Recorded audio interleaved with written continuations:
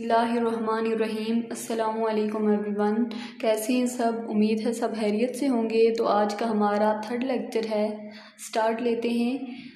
सबसे पहले है simple sentence, complex sentence, compound sentence, and last one is compound complex sentence. सबसे पहले हम देखेंगे कि सिंपल सेंटेंस क्या होते हैं। सिंपल सेंटेंस में एक सब्जेक्ट होता है, एक वर्ब होता है। इसके बाद यह है कि सिंपल सेंटेंस जो होते हैं, वो एक क्लास पे मुश्तमिल होते हैं। इसको, इनको सेंस बनाने के लिए किसी दूसरे सेंटेंस की ज़रूरत नहीं होती, बल्कि ये इंडिपेंडेंटली लाई करते हैं, ये इंडिपेंडेंटली अपना सेंस बना सकते हैं।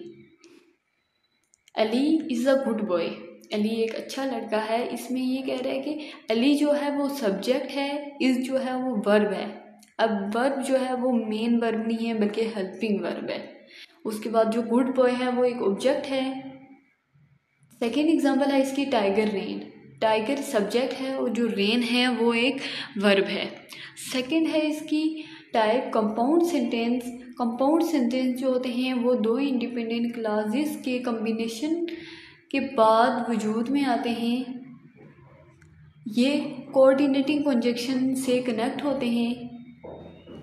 आपको फर्दर बताएँगे कि कोऑर्डिनेटिंग कंजक्शंस क्या होते हैं तो सबसे इससे पहले हम देख लेंगे, इस एग्ज़ाम्पल क्या है। Ali sang in she danced Ali ने गाना गाया और उसने डांस किया। एड जो है वो कंजंक्शन है, और यहाँ पे हमारे पास दो इंडिपेंडेंट क्लासेस लाई कर रही हैं। देखें, एक एली सेंग है और शी डांस्ड एड जो है वो कंजंक्शन है, जो दो इंडिपेंडेंट क्लासेस को जोड़ रहा है। कि कोऑर्डिनेटिंग कंजंक्शन क्या होते हैं? तो कोऑर्डिनेटिंग कंजक्शन में ये बात समझाई जा रही है कि ये दो इंडिपेंडेंट क्लासेस को हेल्प करते हैं कि वो एक दूसरे के करीब आके, एक दूसरे के साथ मिल के एक कंपाउंड सेंटेंस बना सकें। कोऑर्डिनेटिंग कंजक्शन कौन कौन से होते हैं?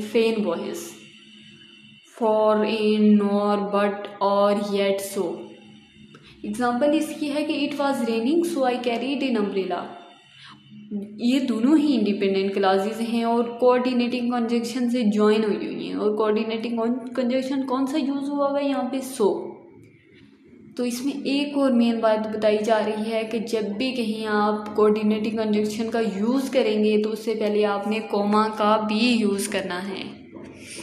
नेक्स्ट हमारे पास कॉम्प्लेक्स सेंटेंस कॉम्प्लेक्स सेंटेंस क्या होते हैं? एक इंडिपेंडेंट और एक सब ऑर्डिनेटिव ऑर्डिनेट क्लास का जो कम्बिनेशन होता है, उसको हम कॉम्प्लेक्स सेंटेंस कहते हैं। इसकी एग्जांपल है she smile because I cracked a joke हैं कि सब ऑर्डिनेटिंग कंजंक्शंस क्या होते हैं? सब ऑर्डिनेटिंग का मतलब ये है कि सेंटेंस का एक पार्ट सेंटेंस के दूसरे पार्ट पे डिपेंडेंसी शो करता है। इसका मतलब ये है कि सेंटेंस का एक पार्ट कभी भी मुकम्मल सेंस नहीं दे सकता, बल्कि एक मुकम्मल सेंस देने के लिए किसी बंदे को, किसी दूसरे बंदे को अपनी बात मुकम्मल तौर पे समझाने के लिए सेंटेंस के एक पार्ट को उसके दूसरे पार्ट की भी ज़रूरत होती है। अब देखते हैं सब ऑर्डिनेटिव कंजंक्शंस होते क्या हैं? आ वाइट बस कौन कौन से होते हैं? तो although whenever however if though even if because unless and last one is since example देखते हैं कि if she calls let me now अगर वो कॉल करे तो मुझे बताना। इसमें बत, जो इफ़ है वो एक सब ऑर्डिनेटिंग कंजंक्शन है। जो शी कॉल्स है वो एक डिपेंडेंट क्लास है और लेट मी नाउ एक इंडिपेंडेंट क्लास है। When the subordinating conjunctions come at the start of the sentence, we also need second to make a complete sense. इसमें क्या कहा जा रहा है कि ये जो आप देख रहे हैं सब ऑर्डिनेटिंग कंजंक्शन ऑफ़ वाइट बस अगर ये किसी सेंटेंस के स्टार्ट में आ जाते हैं तो हमें इस, इस उस सेंटेंस का सेंस बनाने के लिए उसके पहले पार्ट के साथ साथ उसके दूसरे पार्ट की भी ज़रूरत होती है। कॉम्प्लेक्स सेंटेंस कम्बिनेशन होते हैं, दो या दो से ज़्यादा इंडिपेंडेंट क्लासेस का और एक या एक से ज़्यादा डिपेंडेंट क्लासेस का कनेक्टेड होते हैं कंजक्शंस के ज़रिए। इसके बाद देखते हैं कि ये जो कंजक्शन होते हैं, ये कोऑर्डिनेटिंग कंजक्शन का भी कम्बिनेशन हो सकते हैं और सब ऑर्डिनेटिंग कंजक्शन का भी कम्बिनेशन हो सकते हैं। इसकी एग्जांपल है कि when class started Ali came and Zuveria left class started एक डिपेंडेंट क्लास या सबऑर्डिनेट क्लास है अली केम और जुवेरिया लेफ़्ट ये दोनों ही इंडिपेंडेंट क्लासेस हैं। कंपाउंड कॉम्प्लेक्स सेंटेंस जो आपने एग्जांपल देखी, इसकी कुछ एक्सप्लेनेशन है कि वेन जो है वो एक सबऑर्डिनेट क्लास है एंड कोऑर्डिनेटिंग कंजक्शन है, जो कि यूज़ किया गया है दो इंडिपेंडेंट क्लासेस को ज्वाइन करने के लिए और जो सबऑर्डिनेटिंग कंजक्शन है वेन ये इंडिपेंडेंट क्लास को डिपेंडेंट क्लास के साथ ज्वाइन करने के लिए यूज़ किया गया है। जो पंक्चुएशन कामा है वो डिपेंडेंट क्लास को इंडिपेंडेंट क्लास से अलग करने के लिए यूज़ किया गया है।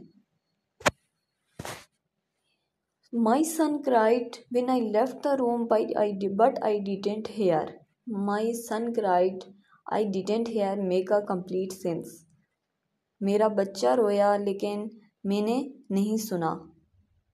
ये कंप्लीट सेंस बना रहा है but I left the room is joined by a subordinating conjunction when so it is dependent clause and should use comma after the ये क्या कह रहा है कि जो but I left the room है, ये एक सब ऑर्डिनेटिव कंजक्शन विन के ज़रिए ज्वाइन हुआ हुआ है ले कनेक्ट हुआ हुआ है, लेकिन ये एक डिपेंडेंट क्लास है, यानी कि इसे सेंस बनाने के लिए दूसरे सिंस पार्ट की भी ज़रूरत है। A comma is required before a coordinating conjunction and after the dependent clause if it comes at the beginning of the sentence